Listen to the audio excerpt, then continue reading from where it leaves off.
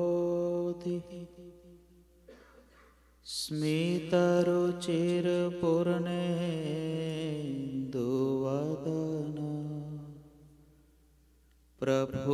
प्रफुल्लम्बो जन्म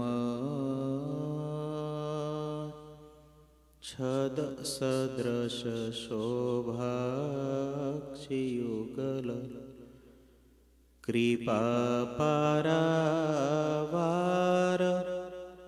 श्रितसकलजीवातिसुखदो महाश्रेयो मूर्ति। जयति स हि नारायणमुनि वर्णिवेशरमणीयदर्शनम् मन्दहासरुचिरात्मनाम्बुजम् पूजितं सुरनरोत्तमेर्मुदा धर्मनन्दनमहं विचिन्तय। ॐ अवतारिणे श्रीस्वामिनारायणाय नमो नमः। ॐ श्रीहरिकृष्णाय नमो नमः ઓમ શ્રી પૂર્ણ પુરુષોત્તમાય નમો નમઃ બોલો શ્રી સ્વામિનારાયણ ભગવાનની શ્રી હરિકૃષ્ણ મહારાજની શ્રી ગણશ્યામ મહારાજની છે બધા ભક્તોને એથી જય સ્વામિનારાયણ વાલા ભક્તો, આપણી આ પાંચમી યુવા સભા છે. હમણાં જે શરૂ કરીએ પ્રમાણે. ગરડા મધ્યનું અઠ્યાવીસમું વચનામૃત છે, જીવન દોરીનું અને દયાળુ પ્રકૃતિનું. એના આપણે થોડાક વાક્યો ઉપર મહારાજનો જે મત છે, એને આપણા જીવનની અંદર શીખવા માટેનો પ્રયત્ન કરવો છે. અઢારસો ને ઓગણએંસીની સાલનું આ વચનામૃત છે, ફાગણ સુધી બીજના દિવસનું. મહારાજ ગઢા મધ્યે દાદા ખાચરના દરબારની અંદર વેદી ઉપર આથમને મુખારવિંદે વિરાજમાન હતા. આખું વચનામૃત હું નથી વાંચતો.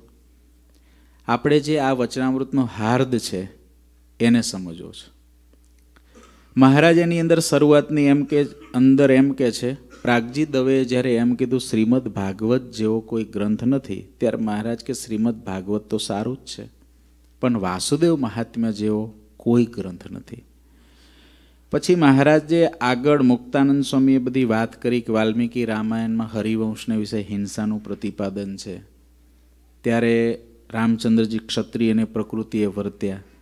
ત્યારે મહારાજ કે, મુક્તાનંદ છે કે રામાનંદ સ્વામીની પ્રકૃતિ એવી હતી.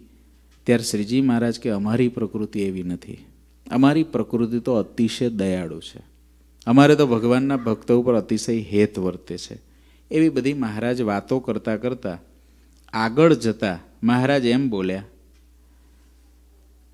જે ભગવાનના ભક્તની સેવા ચાકરી કરે, તે ઉપર તો અમારે અતિશય રાજીપો થઈ જાય છે.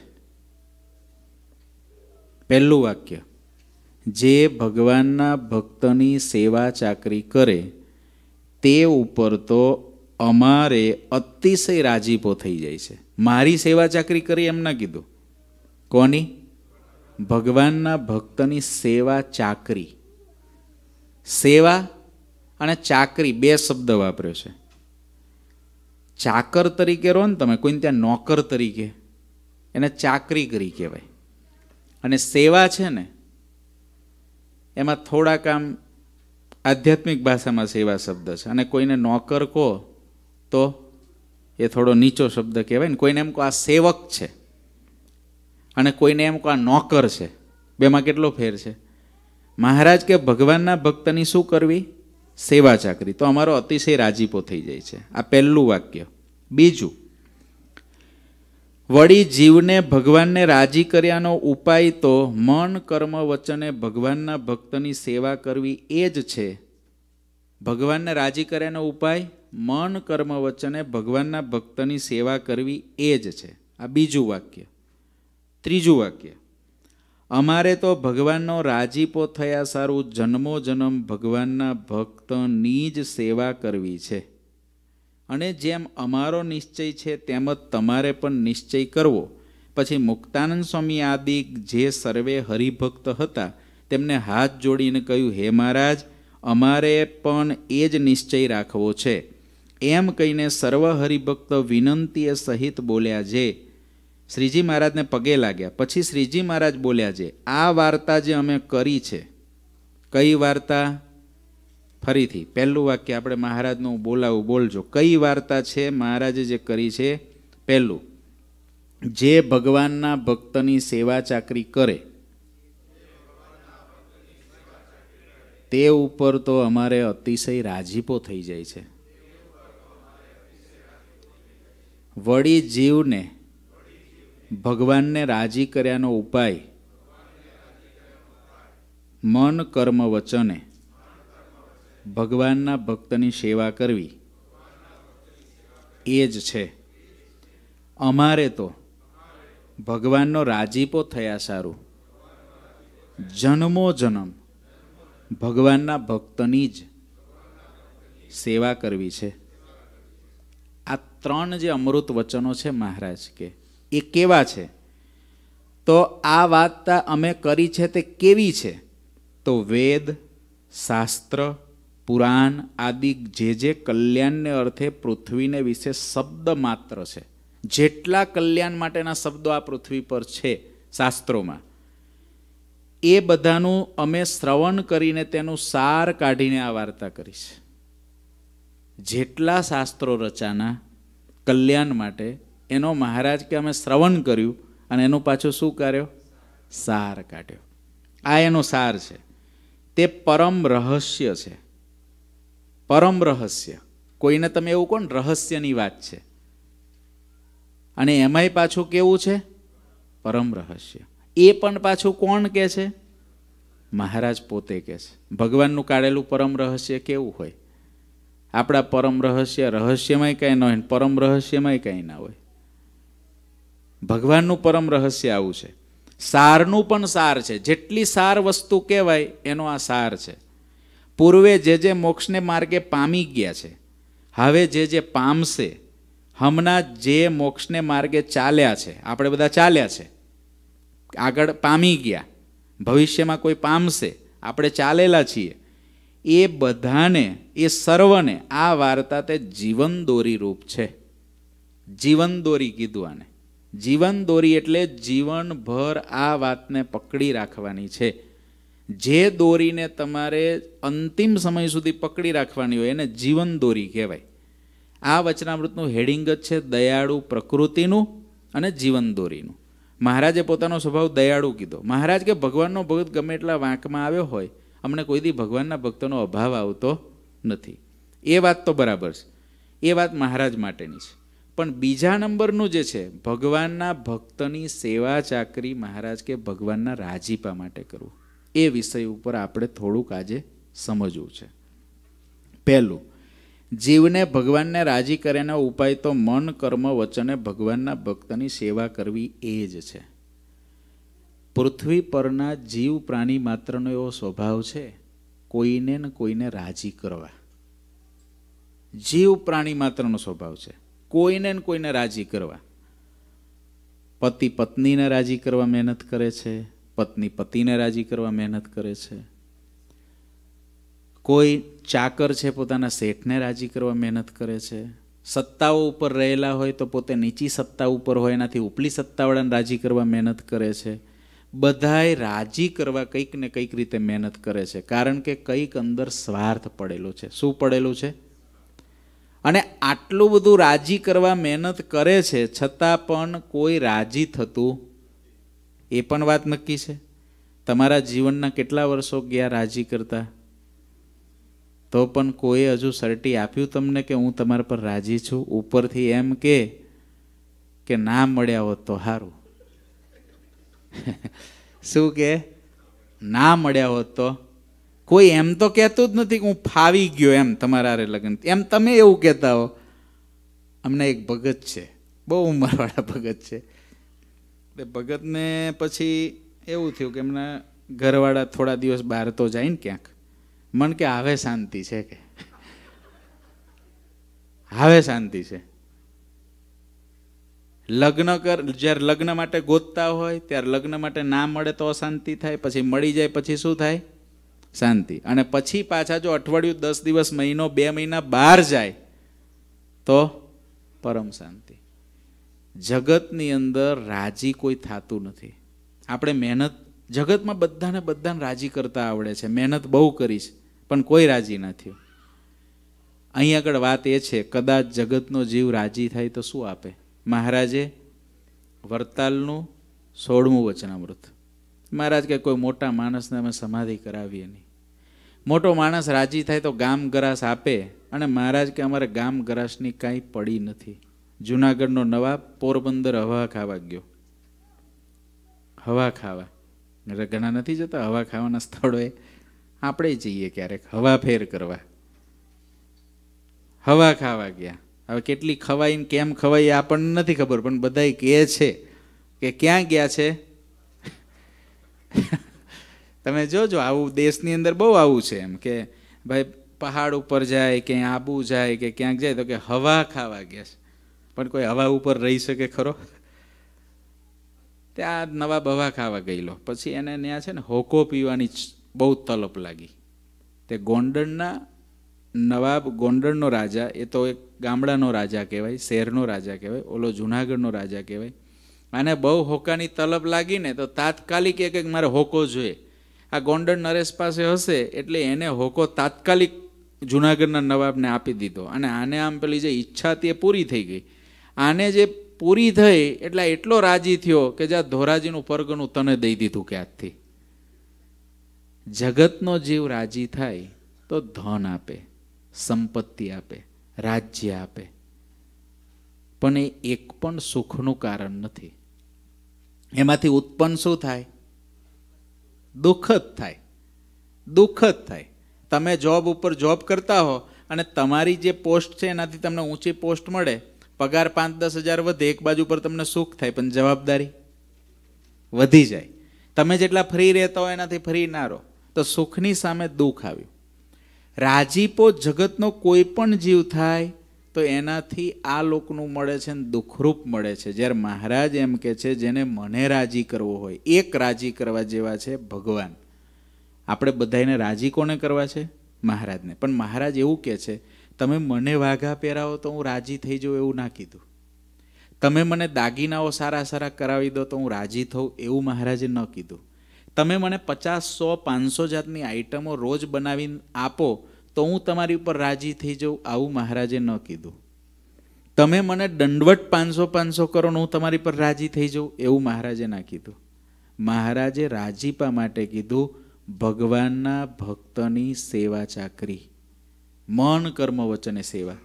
આપણે બધાય સેવા કરીએ છીએ. અમે સંતો કથા વાર્તા દ્વારા તમારી સેવા કરીએ છીએ. તમે અનવસ્ત્રે કરીને અમારી સેવા કરો છો. તનથી તમે ભગવાનના ભક્તોની બધી અહીં કેટલી કોઈ નાની મોટી સેવાઓ બધા જ આપણે કરીએ છીએ. અને એની પાછળનો આપણો આશય છે ભગવાન આપણી પર રાજી થાય. તો ભગવ, એ કેવું કે તમે કોઈ દિવસ એવું બને કે તમે સેવા કોઈકની કરો ને રાજી કોઈક થાય. પગ મને દુખે છે અને તમે શ્રુતિ ભગતના પગ ડાબી દો હું રાજી થઉં? એવું થાય? માથું મને દુખે છે. તમે માથું બીજાનું દબાવો અને રાજી હું થાવ ભૂખ મને લાગી છે. તમે જમાડો બીજાને અને હું રાજી થાવ આવું ક્યાંય છે જગતમાં? જેને ભૂખ લાગી હોય એને જમાડો ને તો જ રાજી થાય. જેને તકલીફ છે એને તમે સેવા આપો તોય રાજી થાય. પરમાત્માનું આખું જુદું ગણિત છે. મહારાજ એવું નથી કહેતા કે તમે મારી સેવા કરો તો રાજી. મારા સંત ભક્તની સેવા કરો તો હું તમારા પર રાજી. હવે આપણે બધાય ભગવાનનો રાજીપો લેવા માટે સંત ભક્તની સેવા કરવાથી ભગવાન કેવી રીતે રાજી થાય છે? તો એટલા માટે રાજી થાય છે કે સંત અને ભક્તના હૃદયમાં ભગવાન રહેલા છે. એના રાજીપા દ્વારા ભગવાનનો રાજીપો મળે છે. ભગવાન રાજી થાય છે. હવે રાજીપા માટે આપણે બધાય કંઈક ને કંઈક કંઈક ને કંઈક મહેનત તો કરતા જોઈએ છે. કે આપણી પર રાજી થઈ જાય, ભગવાનના સંત રાજી થાય, ભગવાનના ભક્ત રાજી થાય, કારણ કે મહારાજે કહ્યું, ભગવાનનો રાજીપો થયા સારું, જન્મો જન્મ ભગવાનના ભક્તની સેવા કરવી છે. હવે સેવા કરવા તો ક્યાં આવવું પડે? ક્યાં આવવું પડે? ભગવાનના ભક્તની સેવા કરવી હોય તો જન્મો જન્મ ધરીને સેવા કરવી છે. મહારાજે એમ ના કહ્યું મને મુક્ત બનાવીને ત્યાં બેહાડ દો. જન્મો જન્મ ભગવાનના ભક્તની સેવા કરવી છે. સેવાથી ફાયદા શું થાય છે? શા માટે ભગવાન રાજી થઈ જાય છે? તો સેવાથી થતા ત્રણ ફાયદાઓ છે. જે મુખ્ય છે. બાકી ઘણા બધા થાય, પણ એના ત્રણ ફાયદાઓ. પ્રથમનું આઠમું વચનામૃત છે. ઇન્દ્રિયોની જે ક્રિયા, તેને જો શ્રીકૃષ્ણ ભગવાન કે તેના ભક્તની સેવાને વિશે રાખે, તો અંતકરણ શુદ્ધ થાય છે અને અનંત કાળના જે પાપ જીવને વળગ્યા છે, એનો નાશ થઈ જાય છે. પહેલું કામ શું થાય છે સેવાથી? પાપનો નાશ થાય.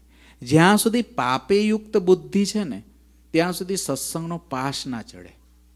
સૌ પ્રથમ આપણી પાપરૂપી વૃત્તિ, પાપ કરવા તરફની જે વૃત્તિ છે ને, એને સૌથી પહેલાં ખલાસ કરવી પડે છે. કારણ કે જ્યાં સુધી પાપ કરવાની વૃત્તિ ખલાસ ના થાય, ત્યાં સુધી રિઝલ્ટ ના આવે. આપણે સત્સંગ કર્યો, સેવા કરી, પણ પાપ કરવાની વૃત્તિ હજુ પડી હોય, એટલે થશે શું? એક બાજુ પર વાવીએ છીએ ને બીજી બાજુ પર બાળીએ છે. એક બાજુ પર વવાય છે, બીજી બાજુ પર બળે છે. એટલે પાપ કરવાની વૃત્તિને ઘસારો પ્રથમના આઠમા પ્રમાણે ભગવાન અને ભગવાનના ભક્તની સેવા ચાકરી કરે. એટલે પાપ કરવાની વૃત્તિ એની ધીરે ધીરે જાય. બીજું, ગરડા મધ્યનું ચાલીસમું વચનામૃત. ભગવાનના ભક્તની મન, વચને અને દેહે કરીને જે સેવા બની આવે, તેને કરીને જેવું આ જીવનું રૂડું થાય છે અને જે સુખ થાય છે તેવું બીજે કોઈ સાધને કરીને થતું નથી. પહેલું, પાપ બળે. બીજું, જીવનું રૂડું થાય. સેવાથી રૂડું થાય. અતિશય રૂડું થાય. તમે જોજો, સત્સંગમાં ત્યાગાશ્રમ કે ગ્રહસ્થાશ્રમ? જે વ્યક્તિ બધાયના રાજીપાનું પાત્ર બને એવું પાત્ર તમે ગોતશો ને, તો એ જ હશે, જેનું અંગ સેવાનું હશે. જે ખાઈને ડીશ મૂકીને જતો રહેતો હોય, એના પર કોણ રાજી થાય? કોઈ રાજી થાય? પણ બીજાની ડીશ પડેલી હોય એ લઈને નાખી દે તો બધાય કે, બહુ સેવા ભાવી છે. સત્સંગમાં ચડવાનું પગથિયું સેવા છે, કારણ કે એમાં બધાયનો રાજીપો થાય. ત્યાગાશ્રમ હોય કે ગ્રહસ્થાશ્રમ હોય, બંનેમાં એવું પ્રેક્ટિકલ દેખાય છે, જે વ્યક્તિ સેવામાં લાગી ગયો ને, એ તરત જ ચડવા લાગશે. પણ આગળ હમણાં મુદ્દાઓ આવશે. સેવા કેવી રીતે કરવી? સેવામાં કયો ભાવ રાખવો? સેવા કરવી એનો આશય કેવો હોવો જોઈએ એ બધું આગળ આવશે. પણ અત્યારે પહેલો પોઈન્ટ સેવાથી પાપ રૂપી બુદ્ધિ નાશ પામે છે. બીજું સેવાથી રૂડું થાય છે, જીવનું રૂડું થાય છે. ત્રીજું, સો જન્મે કરીને ચોખ્ખો થવાનો હોય, વરતાલનું પાંચમું વચનામૃત. સો જન્મે કરીને ચોખ્ખો થવાનો હોય તો આને આ જન્મે એનો જીવ ચોખ્ખો થાય છે. આટલા કાર્યો સેવાથી થાય છે. અનંતકાળના પાપનો નાશ થાય છે, જીવનું રૂડું થાય છે અને ઇન્દ્રિયો અંતકરણની શુદ્ધિ થાય છે. આવું થાય છે. જો પ્રથમ પાપ કરવાની વૃત્તિનો નાશ થયો હોય. જેતલપુરમાં શ્રીજી મહારાજ જ્યારે બિરાજમાન છે, મહારાજે મોટો યજ્ઞ જેતલપુરમાં આદર્યો. અને ત્યારે મહારાજને થયું કે મારે જીવોનું કલ્યાણ કરવું છે. તો આના માટે શું કરવું મહારાજ કે કોઈ જીવ ગમે એવો હોય, એક નાનામાં નાની સેવા કરે અને જો આમાં જોઈન્ટ થાય, તો મારે એનું રૂડું કરવું. એના પાપ નાશ થાય. એટલે ભગવાને ઘઉં દળવાના આપવાના શરૂ કર્યા જેતલપુરમાં. અને ત્યારે જેતલપુરની લક્ષ્મીબાઈ, જે કથા આપણે ઘણી વખત સાંભળી છે. એ લક્ષ્મીબાઈને એવો સંકલ્પ થયો, એ વેશ્યા હતી જાતની. એક એક કર્મ તો સારું હતું જ નહીં. એને સત્સંગની મારે સેવા કરવી છે. એ જે પ્રમાણેના કુકર્મ હતા, એ પ્રમાણે સેવા કરવાને લાયક પણ નહોતી. વાસ્તવિક જો હતો એનું પાપ એટલું હતું. રોજ પરપુરુષનો સંગ. કોઈ રીતે એને અડીને ના આવવું પડે. આવા જ એના કર્મ છે. એ ભગવાન સ્વામિનારાયણ પાસે જેતલપુરમાં એને ખબર પડી કે ભગવાન સ્વામિનારાયણ ઘઉં દળવાના આપે છે તો એ વેશ્યા આવી. એ આપણને બધાને એવું શીખવાડે છે, કોઈ ગમે એવો કુકર્મી જીવ હોય ને એના પ્રત્યે ઘૃણા ના કરવી, દયા કરવી. શું કરવી? દયા, ઘૃણા ના કરવી. આપણને ભગવાન ઓળખાયા છે, આપણે સત્સંગમાં છીએ, તમારે પરિવારમાં પણ. તમારો સત્સંગ વર્ષો જૂનો હોય.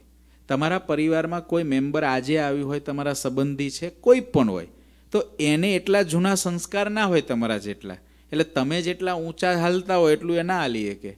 એના પ્રત્યે ઘૃણા નહીં કરવાની, દયા કરવાની. મહારાજે શું કર્યું? કે ઘઉં બધાને મહારાજ દેતા હતા, એમાં લક્ષ્મીબાઈ પણ ઘઉં લેવા માટે આવી, જેવી સભામાં આવીને, એટલે એ જમાનો આ અસ્પૃશ્ય ગણાય અને એની અંદર એ જમાનામાં સત્સંગની સભામાં આવે એટલે બાઈઓની સભા આખી હચમચી અને સૌથી વધારે હચમચાટ કોણ કરે? બાઈઓ. એ હચમચાટ કરે એટલે બધાને ખબર પડી જાય. બાઈઓ કે આ અભાગની ક્યાંથી આવી, આ પાપની ક્યાંથી આવી, આ પાપને કાઢો અહીંથી બોલવા માંડ્યા મોટે મોટેથી. મહારાજ કે ભાઈ સભામાં કોણ પાપ એવું આવ્યું? ત્યારે કોઈએ કીધું, મહારાજ, આ જેતલપુરની વેશ્યા અમારે આ ગામની અંદર પ્રખ્યાતમાં પ્રખ્યાત અને હાવ અભાગની મહારાજ એનો પડછાયો પડે તો નાહવું પડે. એ આવી છે. મહારાજ કે, એના પડછાયાથી તમને શું થાય? તો કે, મહારાજ, અપવિત્ર થઈ જઈએ. મહારાજ કે, એક કુકર્મી વ્યક્તિ તમારા હજારોની મેદનીમાં આવે, તમે બધા અપવિત્ર થઈ જાઓ, તો તમે બધા અમારું ભજન કરો છો, તો તમારા પડછાયાથી એ પવિત્ર ના થઈ જાય? મહારાજ કે તમારા આટલાના પડછા એની પર પડે તે પવિત્ર ના થાય? આવા દો એને. મહારાજે એને પોતાની પાસે આવવાતી હતી. સંતો તો પછી દૂર જતા રહ્યા. પછી મહારાજે લક્ષ્મીબાઈને પહેલો જ વાક્ય કીધું કે, બેન, તું કેમ આવી છો? આ વાક્ય જ્યાં લક્ષ્મીબાઈએ સાંભળ્યું, તેની આંખમાંથી આંસુડા પડવા લાગ્યા. મહારાજ કે, કેમ રડે છે? ત્યારે મહારાજને એ બાઈ એવું કે છે, પ્રભુ, મેં જીવનમાં પહેલીવાર બેન આવો શબ્દ સાંભળ્યો છે.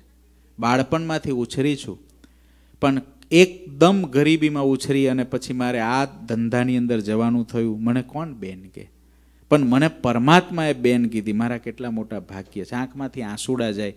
ભગવાન કે, બેન, તારાથી ઘઉં દળાશે? મહારાજની કલ્યાણ કરવાની રીત જુઓ. સેવાથી શું થાય છે? કેટલી પાપી. આપણે જે સેવા કરીએ છીએ, એ સેવાને આગળ આપણી માટેના લક્ષણ આવશે. કદાચ આ સભામાં નહીં આવતી સભામાં આવશે. સેવા કરવાની રીત. સેવા તો બધા કરીએ છીએ. પણ સેવાની કેટલી તાકાત છે? એનો રાજીપો કેટલો થાય છે? આટલા કુકર્મ તો આપણા ક્યારેય ના હોય. ક્યારેય ના હોય. હોય? ક્યારેય ના હોય. આની, આના જીવનની અંદર જેટલું કુકર્મ છે, એટલું આપણા જીવનમાં ક્યારેય ના હોય. ઘણીક વસ્તુ આપણે કરતા હોઈએ પણ આપણને ખબર ન હોય કે આની કિંમત કેટલી મોટી છે. આપણે ઘણી વખત આમ કહીએ ને, સેવા કરવા આવ્યો છું, સેવા કરું છું. પણ એ સેવા એટલે શું? એ સેવા શું કરી શકે છે? એ સેવાની તાકાત કેટલી છે? સેવાથી અનંત જન્મના પાપ બળી જાય. મધ્યનું પચીસમું તો ત્યાં સુધી કે છે, સ્વભાવ માત્ર નિવૃત્તિ થઈ જાય. ઉકા ખાચરનું દ્રષ્ટાંત આપીને મહારાજે વાત કરી છે. સ્વભાવ માત્ર નિવૃત્તિ થઈ જાય. તો સેવા કરવા છતાં સ્વભાવ વધે છે કેમ? એ બધા કારણો આગળ આવશે. સેવા કરવા છતાં સત્સંગમાંથી પાછો કેમ પડી જાય છે? એ કારણ આગળ આવશે. સેવા કરવા છતાં ઇન્દ્રિયો અંતઃકરણ કુંઠિત કેમ નથી થતા? એનું કારણ આગળ આવશે. આ બાજુ લક્ષ્મીબાઈને મહારાજે કહ્યું, તારાથી ઘઉં કેટલા દળાશે? તો કે મહારાજ તમે દેશો એટલા. મહારાજે કહ્યું, વીસ કિલો દળાય. સીધા વીસ કિલો પૂછે. અને ઘરમાં કોઈથી દળ્યું જ નથી. મહેંદી જ પૂરી જ હાથમાં. વીસ કિલો ઘઉં મહારાજે દીધા, માથે મૂકી દીધા બાઈ લઈને ઘેર ગઈ. ઘેર જઈ. એને સભામાં તો બહુ ચર્ચા વિચારણાઓ થઈ ગઈ. સભા પૂરી થયા પછી થઈ કે મહારાજે આવું કર્યું જ કેમ? લોયર તો હોય જ ને પાંચ દ બધે હોય. વકીલાત કરે જ, ભગવાન ઉપર કરે. ભગવાને આવું કર્યું જ કેમ? બધા કે ભાઈ, ભગવાનનો કોણ? ધની ધનીનો કોણ? ધની જે કરે, બરાબર છે. એમ કરીને વાત ઉડી ગઈ એક બે દિવસમાં. પણ લક્ષ્મીબાઈ પોતાને ઘેર ગઈ. પેલા ઘંટલા લીધા. કાંઈ એવું થતું નહીં, સ્વિચ પાડીને લો, ઘંટીમથી લોટ નીકળી જાય. હાથમાં ઘંટલો લીધો અને એને ધીરે ધીરે આમ એક મુઠ્ઠી નાખે, દળતી જાય, સ્વામિનારાયણ સ્વામિનારાયણ કરતી જાય અને મહારાજના પેલા શબ્દો સંભાળતી જાય કે બેન તારથી દળાશે ને, એ મહારાજના જે મીઠા મધુરા શબ્દ એના કાનમાં પડતા જાય. સેવા કેવી રીતે કરવી? પાપ ક્યારે બળે આપણે બધા સેવા કરીએ ને તો સેવા ક્રિયા થઈ જાય ઘણી વખત. ક્રિયા. તમે મોપ મારો છો, તમે ગાર્બેજ નાખો છો, તમે રસોડું કરો છો, તમે પીરસો છો, તમે વેક્યુમ કરો છો, તમે ખુરશીઓ ગોઠવો છો, તમે હાર આપો છો, હાર બનાવો, ગમે તે ક્રિયા કરો. એ સેવા ક્રિયા ના બની જાય, એનું બહુ ધ્યાન રાખવું પડે. સેવા જો ક્રિયા બને તો એ ફળરૂપ ના થાય. ગાવાની સેવા છે, વગાડવાની સેવા છે, કેમેરા ગોઠવવાની સેવા છે, કથા કરવાની સેવા છે આ બધી સેવાઓ છે. હું તમે આ બધી સેવા કરીએ છીએ. પણ એ સેવામાં આપણને એવું અનુસંધાન જો ન રહે કે આ સેવા હું શાના માટે કરું છું, ત્રણ કાર્ય કરવા માટે. એક, મારી જન્મો જન્મની પાપની વૃત્તિને બાળવા માટે. મને ભૂંડો સંકલ્પ ના થાય, ભૂંડા વિચાર ના આવે. ભૂંડી ક્રિયા કરવા તરફ ક્યારેય પણ મારું મન ખેંચાય નહીં. એવું મન મારું નિર્વિકલ્પ થાય એટલે સેવા કરું છું. પહેલું. બીજું મારા જીવનું અતિ રૂડું થાય. અને ત્રીજું, ઇન્દ્રિયો અંતકરણ ચોખ્ખા થાય તે ભગવાનને ધારવા માટે સક્ષમ બને. ભગવાનનું પ્રતિબિંબ ઝીલવું છે, પણ ઝીલાય શામાં? ઇન્દ્રિયો અંતકરણ ચોખ્ખા થાય તો ઝીલાય, નહીં તો ના ઝીલાય. આંખ બંધ કરે એટલે અંધારું જ થાય. આંખ ખુલ્લી રાખે તો અંધારું થાય. કારણ કે ઇન્દ્રિયો અંતકરણ ચોખ્ખા નથી થઈ ગયા. ચોખ્ખા થશે એટલે સીધું ભગવાનનું પ્રતિબિંબ આમ જ ઝીલાય. બ્રહ્માનંદ છે કે હું ખુલ્લી આંખોએ ભગવાનની ઉર્ધ્વ રેખા જોઉં છું? સ્વામી કે હું તો ખુલ્લી આંખોએ લાંબી ઉર્ધ્વ રેખું રે. આંખ બંધ કી આંખ ધ્યાન વિના હું દેખું. સ્વામી કે ધ્યાન વિના મને ઉર્ધ્વ રેખા દેખાય. પ્રતિબિંબ ચોખ્ખું ઝીલી શકતા. ઇન્દ્રિય અંતકરણ ચોખ્ખા થાય. સેવાથી એ કરવાનું છે. આપણે ઘણી વખત સેવા એટલે શું માનીએ? કે સેવા એટલે આપણે સાફ સફાઈ સોંપી, સાફ સફાઈ કરી નાખી એટલે સેવા થઈ ગઈ. પણ એ ક્રિયા છે. સેવાનો પાઠ ચોક્કસ થયો, પણ સો ટકા જે રૂપ થઈને કરવી જોઈએ ને, લક્ષ બાંધીને કરીએ, એ આખું જુદું થાય. અને લક્ષ બાંધ્યા વિના કરીએ, એ જુદું થાય. એટલે અનુસંધાન ત્રણ હંમેશા સેવા કરતા રાખવાના, કે હું સેવા કરું છું, જીવનું રૂડું કરવા માટે કરું છું. રાજીપો. રાજીપો છે, એનાથી શું થાય? જીવનું રૂડું કરવા કરું છું, પાપ કરવાની વૃત્તિનો નાશ કરવા કરું છું, અને ઇન્દ્રિયો અંતકરને ચોખ્ખા કરવા માટે આ સેવા કરું છું. એટલે સેવામાં ગરજ રહે. આપણે સેવા કરીએ છીએ એમાં સામેવાળાને ગરજુ ના માનીએ. આપણે સેવા કરીએ એમાં આપણને ગરજ રહે, કારણ કે મારે જરૂર છે આ બધી. બાકી આપણે સેવા કરીએ તો શું કરીએ વિચારીએ કે હું કંઈક ઉપકાર કરું છું, કોઈ ભક્ત ઉપર કરું છું, સંત ઉપર કરું છું, મંદિર ઉપર કરું છું, ભગવાન ઉપર કરું છું, આવું આપણે માનીએ. પણ જ્યારે મારે જ ગરજ છે, મારે જ આ ત્રણ કામ કરવાના છે એના માટે હું કરું છું, તેમાં હું શું કરું છું? મારે તો હું મારા રૂડાન અર્થે કરું છું. તો અભિમાન ના આવે. લક્ષ્મીબાઈએ ઘઉં દળ્યા. આખી રાત મહારાજના એ શબ્દોને સંભાર્યા આંખમાંથી આંસુડા જાય, ઘઉં દળતી જાય, હાથમાં ફોલ્લા પડી ગયા. હાથમાં ફોલ્લા પડ્યા, પાટા બાંધીને બાઈએ દળ્યા ઘઉં. બે દિવસે ઘઉં તૈયાર કર્યા દળીને, માથે મૂકીને પાછી સભામાં આવી અને મહારાજ પાસે ઘઉંનું પોટલું મૂક્યું. તો એ હજુ હુગાળા તો હતા જ સભામાં બે પાંચ તો. આ ભાગની આવી ખબર નહીં મહારાજે આની પર કેમ દયા કરી? આને શું દેવાની જરૂર હતી? આપણને વેચી દીધા હોત, આપણે પાંચ પાંચ કિલો વધારે દળી દેત. મહારાજ કે, તમે શાંત રહો, મારું કાર્ય મને કરવા દો. ઘઉં મૂક્યા ને, પછી મહારાજે કહ્યું, બેન, તારે કોઈ ઈચ્છા ખરી? એનું અંતઃકરણ એટલું બધું ચોખ્ખું થઈ ગયું. કારણ કે અડતાલીસ કલાક એ બાઈએ સ્વામિનારાયણ સ્વામિનારાયણ કર્યું. અડતાલીસ કલાક એને મહારાજનો પેલું વાક્ય જ યાદ કર્યું, બેન, તારાથી દળાશે ને. મહારાજને યાદ કર્યા. જગતના કોઈ જીવને યાદ ના કર્યો. જગતની કોઈ ક્રિયાને યાદ ના કરી. અંતકરણ ચોખ્ખું થઈ ગયું.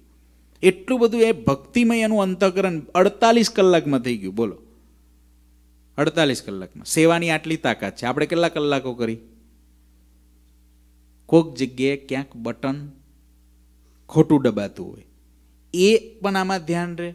આપણો સ્વભાવ, સ્વામીએ કીધું, સેવાથી સ્વભાવ વધે.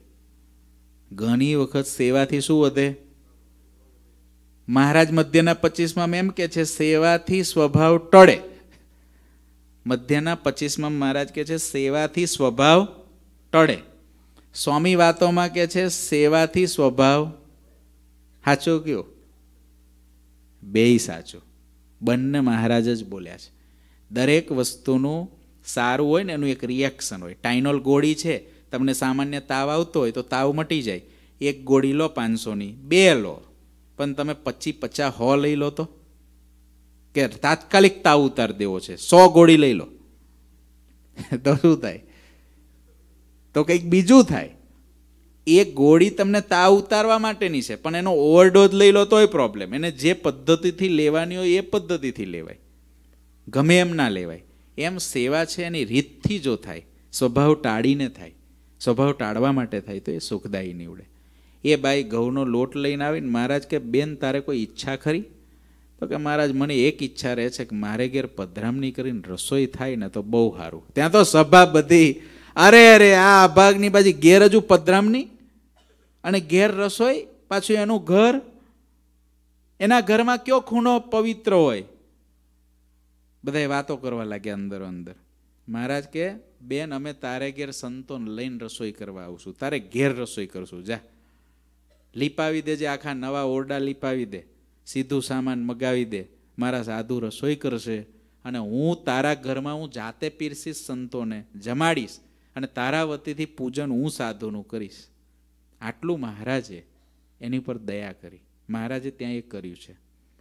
એની પાપ કરવાની વૃત્તિનો નાશ થયો. શાનાથી? સેવાથી. અડતાલીસ કલાકની સેવામાં પાપ કરવાની વૃત્તિનો નાશ, પણ અડતાલીસ કલાકમાં એક શુદ્ધ આશય કે બસ મારે ચોખ્ખું થવું છે. આપણે જ્યારે સેવા કરીએ ને, ત્યારે એવા ભાવથી કરીએ, હું કોઈ પર ઉપકાર નથી કરતો. હું કેવળ મારા આત્માને ચોખ્ખો કરવા માટે આ સેવા કરું છું. સેવા કરતાં કરતાં કોઈને પીરસતા હોય, રસોઈ બનાવતા હોય, ગાર્બેજ નાખતા હોય જે કાંઈ કરીએ બધાયમાં બસ આ સંતો ભક્તોનો મને રાજીપો મળી જાય. રાજીપાના ભિખારી થાવું જિંદગીભર જે રાજીપાનો ભિખારી બને, એને ક્યારેય પણ જીવનની અંદર કોઈ પણ પ્રકારની મોટી આપત્તિ આવવાની હોય ને તો રાજીપો તાળી નાખે. આ જીવ બીજું કરી શું શકે મન કહો? આપણે કરી કરીને શું કરી શકીએ? શું આપણે સૌભરી ઋષિએ જેટલું તપ કર્યું, એટલું ક્યાંય કરી શકીએ? એવું કંઈ નોંધી શકીએ એવું છે? પૂર્વે સંતો ભક્તોએ જે સાધનો કર્યા, ધ્યાન, ભજન, સ્મરણ, તપ, એવું આપણે કંઈ કરી શકીએ છીએ? આપણી પાસે એક જ મૂડી લઈને જીવી શકાય ને મરી શકાય રાજીપો આપણી પર કોઈ ભગવાન રાજી કે ભગવાનના મોટા પુરુષ ગુરુજી જેવા રાજી થયા હશે? આપણી ઉપર કોઈ સંતો ભક્તો રાજી થયા હશે? એના આંખમાંથી આંસુડા પડી ગયા હશે આપણી સેવા જોઈને? એ રાજીપો છે ને? અંતકાળે આપણને એ યાદ રહેશે ને? કામ એનાથી થઈ જશે. આપણને જીવનમાં એમ થશે, બીજું થયું કે ના થયું? પણ મારાથી આટલા સંતો ભક્તો રાજી થયા છે. અને રાજીપો લેવા માટે સેવાવાળું જીવન કરવું પડે. જેવી સેવા, એવું જરૂર નથી તનથી સેવા. આજે વડીલ હોય, તનથી સેવા ના કરી શકે આવે, એને મનથી સેવા. બસ, મનથી સેવા કરે. જેની જેવી લાયકાત એવી પ્રમાણે સેવા કરે, તો એના જીવની અંદર પાપ કરવાની વૃત્તિ એનો નાશ થાય. બીજું, ઇન્દ્રિયો અંતકરણ ચોખ્ખા થાય. ગોપાળન સ્વામી ધોલેરા આવ્યા. ચાલતા, સ્વામી થાકેલા હતા. એક સંત સ્વામીની સેવા કરવા માટે રાત્રે ગયા, ચરણચંપી કરવા લાગ્યા. ચરણચંપી કરતા કરતા કરતા કરતા કરતા સ્વામી તો યોગ નિંદ્રામાં જતા રહ્યા. સ્વામી ઘસઘસાટ હોઈ ગયા. આ લોકની દ્રષ્ટિએ હવે આપણે જો ચરણચંપી કરવા ગયા હોય, આપણે મહિમાવાળા તો ખરા, પૂગી ગયા હોઈએ. ગોપાળન સ્વામીને છોડીએ. ગોપાળન સ્વામી આટલો મહિમા સાંભળ્યો હોય અને સ્વામી જો આવ્યા હોય હાલીને અને આપણને ખબર પડે ગોપાળન સ્વામી આટલું ચાલીને આવ્યા છે, તો આપણે સેવા કરવા પહોંચી જઈએ કે ના પહોંચીએ? બોલો. પહોંચી જઈએ ને?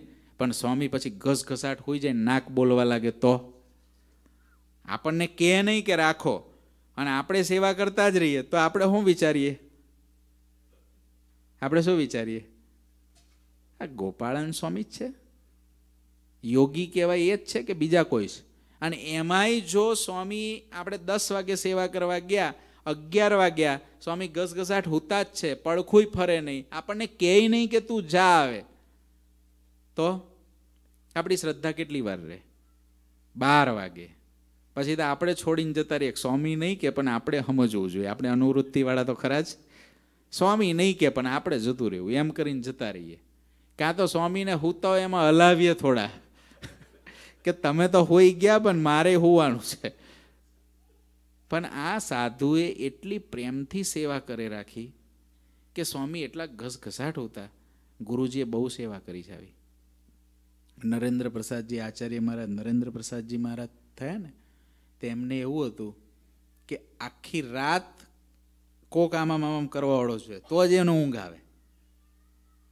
તે પાર્ષદ, પેલા પાર્ષદ હોય ને સેવામાં તે પાર્ષદ હોય તે ગુરુજી કે નવથી એટલે દસ વાગે હોવા જાય મારા રીતે દસથી બાર, એક વાગ્યા સુધી એ ગુરુજીએ પાર્ષદનું નામ કે છે. એ પાર્ષદ કરે. પછી હું એક વાગ્યાથી કે બેઠો કે બાર વાગ્યાથી બેવું તો સવારે પાંચ, છ વાગે નહીં ધોઈને આવે ત્યાં સુધી મારે સેવા કરવાની. આચાર્ય મહારાજ શ્રી નરેન્દ્ર પ્રસાદજી મહારાજ. ગુરુજી વિચરણમાં ગયેલા. દાદા ગુરુજી હતા ત્યારે. અને ત્યારે નરેન્દ્ર પ્રસાદજી મહારાજની આંખમાંથી આંસુ પડી ગયેલા. દાદા ગુરુજીને કીધું કે આ કેવો ગજબનો સાધુ છે કે. કોઈ પણ જે મોટી પદવીને પામેલા દેખાય, જે કોઈ મોટી પદવીને, આ સત્સંગમાં જે કોઈ મોટા મોટા દેખાય છે ને, સંતો હોય, હરિભક્તો હોય, એક પણ એવા નથી કે જેને સેવા વિનાનું એનું જીવન ગયું હોય. એને બહુ સેવા કરી હોય અને બહુ સેવા કરતા હોય. જ્યારે જે પ્રકારની પદ્ધતિ, ક્યારેક એને તનથી સેવા કરવી પડી હોય હવે એને વાતે કરીને સેવા કરવાની હોય, કોઈને બળ આપવા રૂપી સેવા કરતા હોય. બધું બહુ પ્રકારની સેવાઓ છે. કોઈ વખત કોઈનો ભાવ છે, એનો હાર પહેરવો એ સેવા છે. હાર પહેરવો ગમતો ના હોય ને એનો હાર પહેરવાનો, મોટા પુરુષોને. તો એ સેવા છે. આપણે એને સન્માન આપીએ ન ગમતું હોય ને લેવું પડે. એ બહુ મોટી સેવા છે. જે ગમતું નથી ને કરવાનું, જેમાં તકલીફ પડે, એ સેવા છે. ત્યારે ગુરુજી આખી રાત સેવા કરતા. જેને જેને રાજી થયા છે, સેવાથી થયા છે. ગોપાળન સ્વામીની આખી રાત આ સાધુએ નિર્દોષ ભાવે સેવા કરી. એવું ના વિચાર્યું. સ્વામી ઘસઘસાટ હોઈ ગયા. આપણને તો કહેવાનું ભૂલી ગયા. અને આ યોગી હશે કે કેવા છે યોગીને આવી ઊંઘ હોય?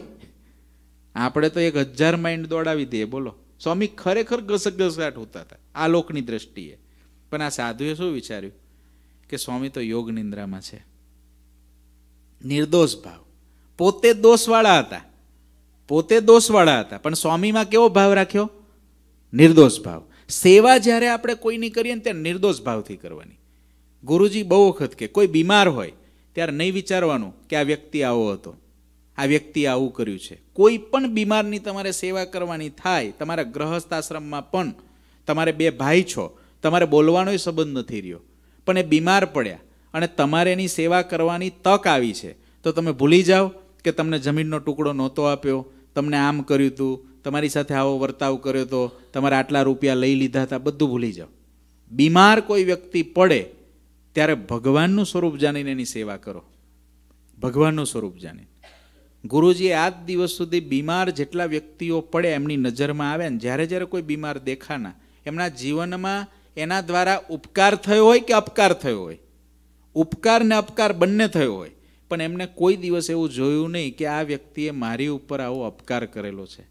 એની સેવા કરી, આખી જિંદગી સેવા કરીશ આખી જિંદગી સેવા કરી, ધામમાં જતા સુધી સેવા કરી હોય, એવું કર્યું છે. રાખીને સેવા કરાવીશ ગોપાળન સ્વામી સવાર પડ્યું ને, એટલે સ્વામી આંખ ખોલી. હવે આવા મોટા મુક્તને શું અજાનું હોય? સ્વામીએ પૂછ્યું, સાધુરામ, તમે હજુ સેવા કરો છો? પેલા સાધુ કે, હા, સ્વામી. તમે પોઢી ગયા હતા મને સેવા મળી અને તમે કીધું નહીં કે જા, તો મને થયું કે મારે સેવાનો અવસર છે. ઊંઘ તો જન્મો જન્મ કરવાની છે. તમારા જેવા મોટા પુરુષની સેવા ક્યારે મળે? અને ત્યારે ગોપાળન સ્વામી કે હું બહુ રાજી થયો. તે હું સ્વામીના પગ ડાબવાથી રાજી થયા હતા એવું હતું? ના. સ્વામી એમની ભાવનાથી રાજી થયા.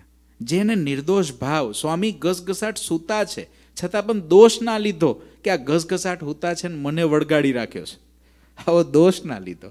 કોઈ ટીકા ટિપ્પણી ના કરી, મગજથી ના કરી, વાણીથી ના કરી, મનથી ના કરી, સેવા એટલે આમાં મંડી પડે એ સેવા નહીં, નિર્દોષ ભાવથી સેવા. તમે વિચારો કે ગુરુજી કે હું આચાર્ય શ્રી નરેન્દ્ર પ્રસાદજી મહારાજને બાર વાગ્યાથી છ વાગ્યા સુધી આવી સેવા કરતો અને રોજ ગુરુજી કે બે, ત્રણ મહિના, છ મહિના થયા ને ત્યાં સુધી રોજ આવી રીતે કરવાનું. એક દિવસ હોય તો બરાબર. અને હવારમાં પધરામણીએ જવાનું. તો કેવી રીતે કાઢ્યો હશે? એ મહિના કેવી રીતે કાઢ્યા હશે? ત્યારે ઊંઘ કેવી રીતે પૂરી કરી હશે? પણ મહિમાથી. ગુરુજીએ વાત કરે ને, તો ગુરુજી એવી રીતે વાત ના કરે કે મને આવો વળગાડી દેતા હતા એમ. ગુરુજી એવી રીતે વાત કરે કે મારી પર રાજી કેટલા થઈ ગયા? અને આજે પણ ગુરુજી અહીંયા આગળ કથા વાર્તા શિક્ષાવતરી ભાષ્યની કરી ત્યારે કીધું ને, મેં બધાનો રાજીપો લેવા પ્રયત્ન કર્યો છે.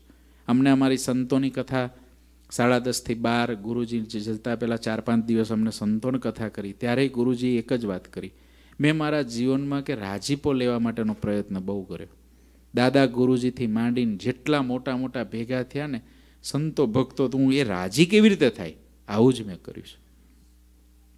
એટલે ભગવાનના મોટા સંતો ભક્તોમાં આ લક્ષણ સહજ દેખાય કે સેવાથી એ બીજાને રાજી કરે. જે પ્રકારની સેવા, જે પ્રકારની.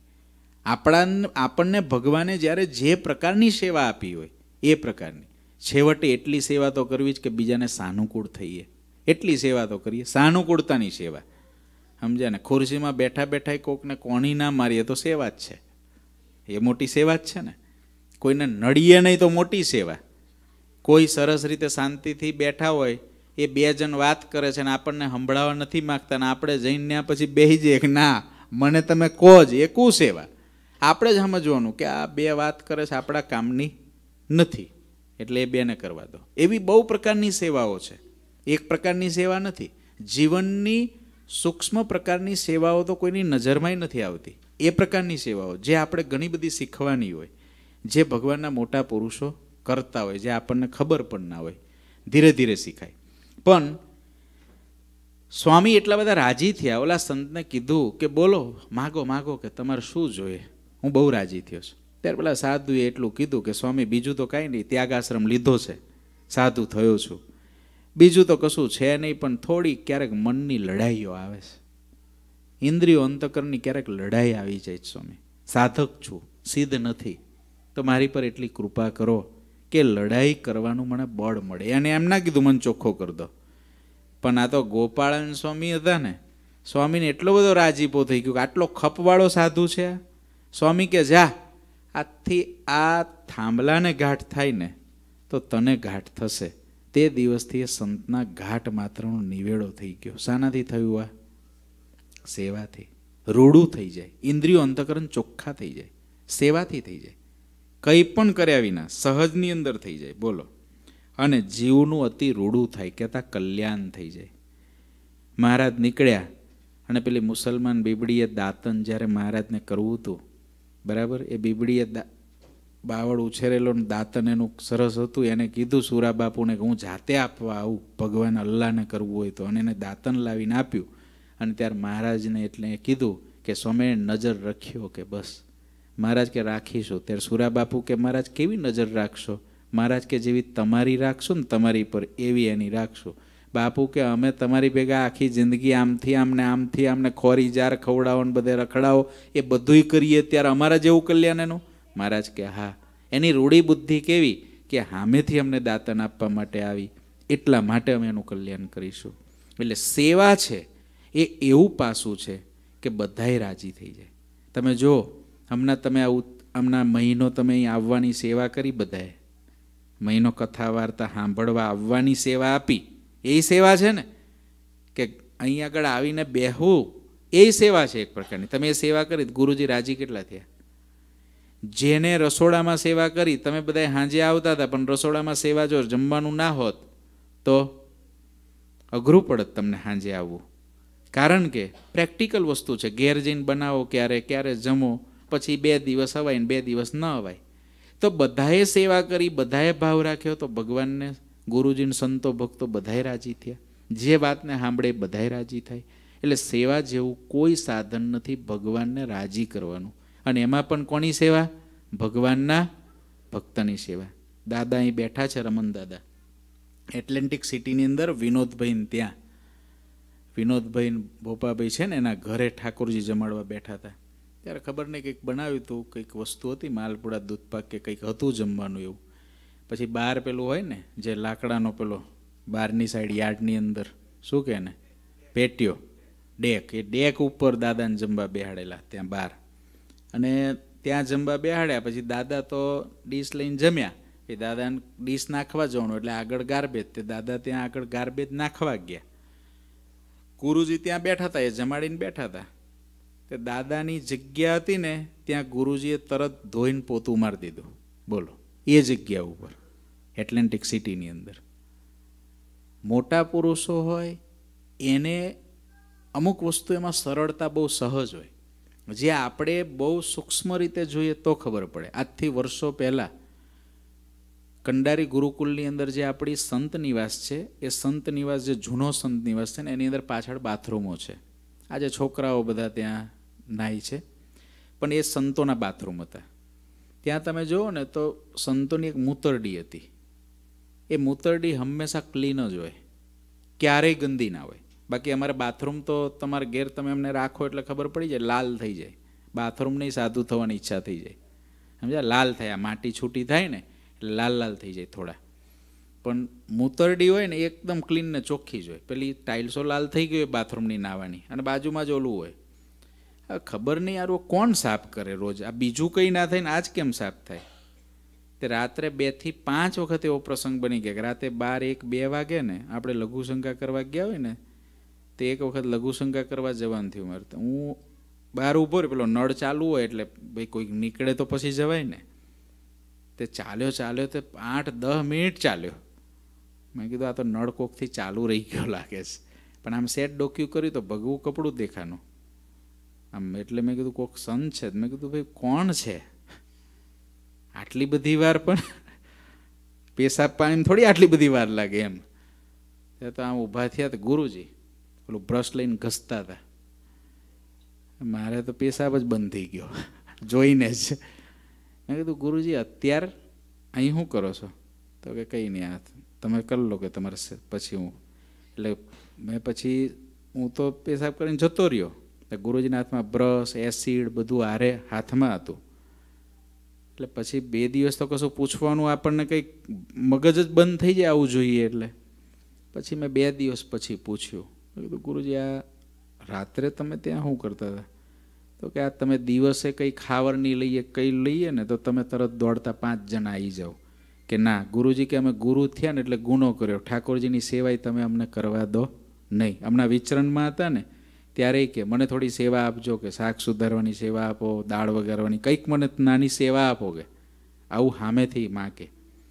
તો કે આ તમે કે હવે અમે ગુરુ થયા હોય એટલે અમે ગુનેગાર થઈ ગયા કે ઠાકોરજીની સેવાનો અધિકારી તમે કોઈ અમારી પાસે રહેવા દો નહીં. એટલે હાવરની લઈએ પાંચ જણા આવશે. ના ના, ગુરુજી, તમારે ના થાય. તો ગુરુજી કે હું અમે ગુનેગાર છીએ તમારથી ના થાય. એટલે તમે બધા જ્યારે હોઈ જાઓ ત્યારે હું રાત્રે કરું મારી સેવા. પણ કેવી સેવા? સાધુની મૂતરડી સાફ કરવાની સેવા તમે વિચારો, મોટાને મોટાની પદવી એમને એમ નથી મળી હોતી. એ જે મોટાની પ્રભાવ આપણને દેખાય છે ને, એની જે આભા દેખાય છે ને, એ કંઈક સૂક્ષ્મ રીતે એની સેવાઓ હોય. આપણી કેવી હોય? ભપકાવાળી દેખાઈ જાય બધું. આપણું કેવું હોય? નોંધ લેવાય એની, એવી હોય. મોટાની કેવી હોય? ઊંડી હોય. કોઈને ખબર ના પડે ક્યારે, કેવી રીતે, કઈ પ્રકારની સેવા થતી હોય. ખ્યાલ ના આવે. સેવા એટલી મહત્વની છે પણ સેવા કેવી રીતે કરવી? એના પાંચ મુદ્દાઓ છે, જે મહારાજે મધ્યના એકતાલીસમાં વચનાવતમાં કીધેલા છે અને સેવા કેવી રીતે કરવી એ વિષયક વાતો આપણે આવતી સભાની અંદર સાંભળશું. ઘનશ્યામ મહારાજની જે શ્રીપતિમ શ્રીધરમ સર્વદેવેશ ભક્તિધર્માત્મજમ વાસુદેવમ હરે માધવમ કેશવમ કામદમ કારણમ સ્વામિનાર નીલકંઠમ ભજે ઘનશ્યામ મહારાજની જે બીજું વાલા ભક્તો કે ખાસ બધા યુવાનો, આપણે જે જેપરડી ગેમ રાખેલી છે, પંજાબી મહોત્સવની, એમાં લગભગ યુકેના અને આજુબાજુના સ્ટેટોના બધાય ભક્તો રજીસ્ટ્રેશન થઈ ગયા છે. પણ આપણા અહીંના યુવાનો બાકી છે, અહીંના બહેનો બાકી છે. તો બધાય તમે જેપરડી ગેમ એમાં નંદ આખ્યાના પ્રસંગો, આજે યુવક મંડળનું જે ગ્રુપ છે, એની અંદર એ લિંક ફરીથી મૂકવામાં આવશે. તમે બધા રજીસ્ટ્રેશન કરી લેજો. જૂન મહિનાની સાતમી, જૂન મહિનાની ત્રેવીસ તારીખે પહેલી એક્ઝામ ટ્રાયલ એક્ઝામ લેવાશે. પછી જે બીજી એક્ઝામ છે, જુલાઈની સાત તારીખે લેવાશે ફાઇનલ એક્ઝામ એની અંદર વીસ નંબરો આપવામાં આવશે. જેના પહેલાં વીસ નંબરોથી હશે. પુરુષોમાં વીસ, બહેનોમાં વીસ. બંને અલગ અલગ. એ વીસ જે હશે, એના પાંચ પાંચના ગ્રુપ બનાવવામાં આવશે. ચાર ગ્રુપ અને ચાર ગ્રુપની જેપરડી ગેમ પંજાબી મહોત્સવ દરમિયાન એ જ કોર્સમાંથી રમાડવામાં આવશે. એ જે કોર્સ આપેલો છે એમાંથી, આ યુવા સભાની પરીક્ષા થશે, એ આખી જુદી થશે. એ તમને મહિના પહેલાં કહી દેવામાં આવશે કે આની આની આપણે અહીં કહૂટ કરીએ છીએ ને, તો મંદિરમાં જ થઈ જશે. આ કહૂટ હમણાં કરી હતી ને આગળ, એ રીતે આની કહૂટ પરીક્ષા થશે યુવા સભાની. અહીંયા જ ઓનલાઈન જોઈન્ટ થઈને બધાય જે ઓનલાઈન ભક્તો છે, બધાય ત્યાંથી પરીક્ષા આપી શકશે. એવું મેના એન્ડની અંદર જેટલી યુવા સભા થશે, એ યુવા સભાની પરીક્ષા ગુજરાતીની આવી રીતે લેવાશે, અંગ્રેજીની જે છે, આપણે આ યુવા સભા જે કરીએ છીએ આગળ સુરત સ્વામીએ કરીએ, એટલે જે સંતો અમે ગુજરાતીમાં કરીએ છીએ ધ્યાન સ્વામી એ જ કથા આવતીકાલ અંગ્રેજીમાં રેકોર્ડ કરે છે. એટલે જે અંગ્રેજીમાં આપણા યુવાનો હોય, એને પણ આ જ વસ્તુ મળે, એની પણ એવી રીતે કહુટ પરીક્ષા ધ્યાન ધ્યાન સ્વામી કરે છે. તે ધ્યાન સ્વામી ગોઠવશે અને આપણી આ મેના એન્ડની અંદર આની આપણે પરીક્ષા ગોઠવીશું, જેટલી સભા થાય એનું. બીજું કે દરેક યુવાનો હવે આપણો સાંસ્કૃતિક કાર્યક્રમ આપણો પંજાબી મહોત્સવ દરમિયાન કરવાનું થશે.